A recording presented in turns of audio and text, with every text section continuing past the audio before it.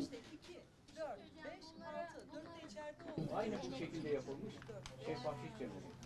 2, 4, Oğlunun 6, cemevi. 5. O da Orta Asyalı Türklerden biri. Vahşi Haçlı, ruhani lideri geldi.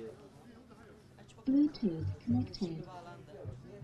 E, amacımız Onar Köyü'nü kalkındırmak, Onar Köyü'nün güzelliklerini ve tarihi eserlerini, Büyük Ocak Cemevi'ni e, toplumumuza duyurmak. Biliyorsunuz e, Onar Köyü 1224 yılında Alaaddin Keykubat tarafından, Selçuklu hükümdarı Alaaddin Keykubat tarafından verilen bir vakıf senediyle kurulmuş. Elimizde vakıf senedinin kopyası da vardır. Burada da görebiliriz.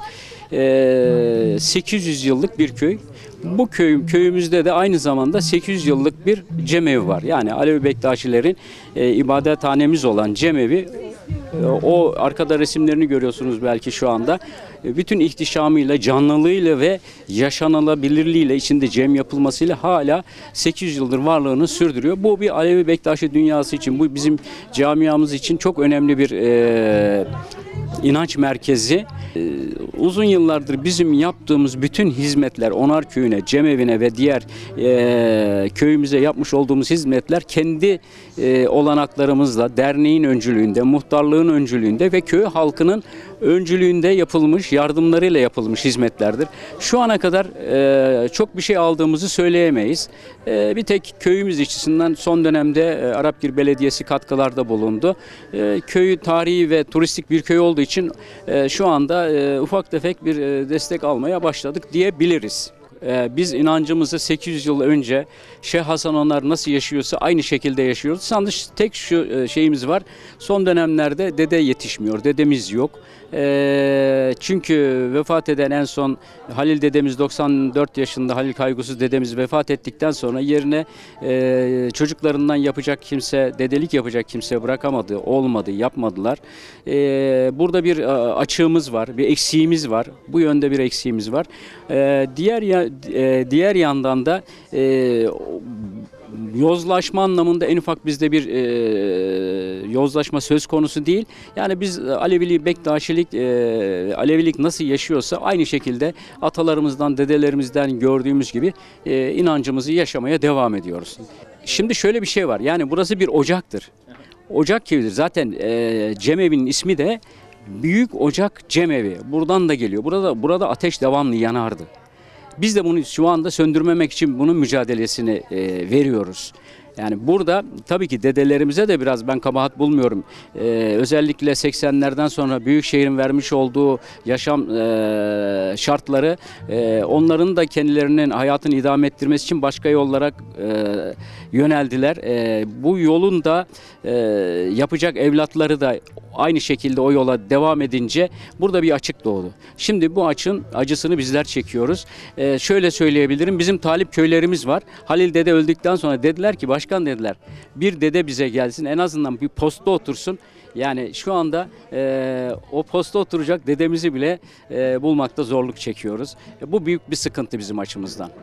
Ee, Alevilik, Aleviliği ve Bektaşiliği özellikle Anadolu, Anadolu coğrafyasından nasıl yaşatabiliriz? Gelecek kuşaklara içi dolu olarak nasıl teslim edebiliriz e, anlayışıyla e, hareket ediyoruz.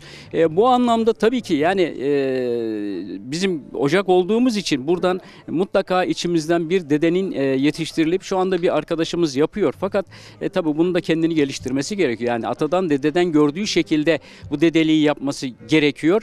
E, bu açığı e, gidereceğiz. En kısa zamanda gidereceğiz. E, bunun çabası içindeyiz yani. Buradaki çalışmalarımız esasında İstanbul için biz bir şey yapmıyoruz. Hepsi 1200 kilometre ötedeki Onarköy, Arapgir'e bağlı Onarköy için yapıyoruz. E, 20 senedir yapmış olduğumuz hizmetler de şu anda Onarköy'ü tarihi ve turistik anlamda e, belli bir yere geldi. E, bunun e, daha iyi yerlere gelmesi için de çalışmalarımız devam ediyor. Onar Köyü şu anda sit alanı ilan edilmiş durumda. 24 tane evimiz ikinci derece tarihi eser. Büyük Ocak Cem evimiz birinci derece korunması gereken e, ibadethanemiz olarak tarihi eser olarak e, kaydedilmiş durumda. E, ayrıca tabii sadece Onarköy inançsal açıdan değil bir de tarihsel açıdan da öneme sahip. Çok onu da kısaca belirteyim ben size. Yani Onarköy'ünde e, 12. Fulminato Lejyonu yani Roma dönemin Doğu Roma'nın sınırlarını kollayan 12. Fulminato Lejyonu Onar köyünde konuşlanmış ve 300 sene orada e, hüküm sürmüştür. Roma'nın doğu sınırlarını koruyaraktan. Burada da kaya mezarları vardır. Yani burada 21 tane kaya mezarı vardır. Gelen turistlerimiz cemevimizi ziyaret, inansal açıdan cemevimizi ziyaret ediyorlar. Ha, bir de e, kaya mezarlarını ziyaret ediyorlar. Yalnız şunu da belirtmeden geçemeyeceğim. Sadece Büyük Ocak Cemevi yok Onar Köyü'nde. Bir de oğlunun yaptırmış olduğu Şeyh Bahşiş Cemevi var. İki tane tarihi 800 yıllık cemevi var. Ayrıca bir tane de kendimizin yapmış olduğu hizmet binamızın içinde cemevi var. Üç tane cemevi var. Büyük Ocak Cemevi'nde biz bu sene bir e, Şeyh Hasan Onar e, Amma 800. yılı Amma etkinlikleri yaptık. Orada cem yaptık e, cem evinde. Normalde cem yapmıyoruz çünkü tarihi eser olduğu için zarar veriyoruz anlamında. Cemin mekanı yok sadece, bir şey vardır orada. O havayı yaşamak, o, o ruhani, o kutsi havayı orada yaşayabiliyoruz. Betonların içinde ayrı ama o 8 yıllık cemevinin içinde çok daha farklı bir e, anlam ifade ediyor. Pir Sultan Abdal e, Onar köyüne gitmiş. Hemen onu belirteyim.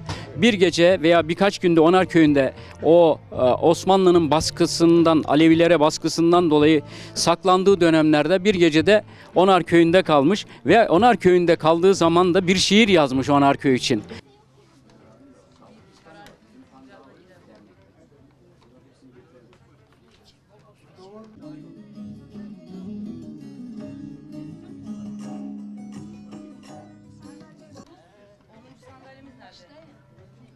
Seyircan orada bak. 1, 2, 3, 4, 5, 6.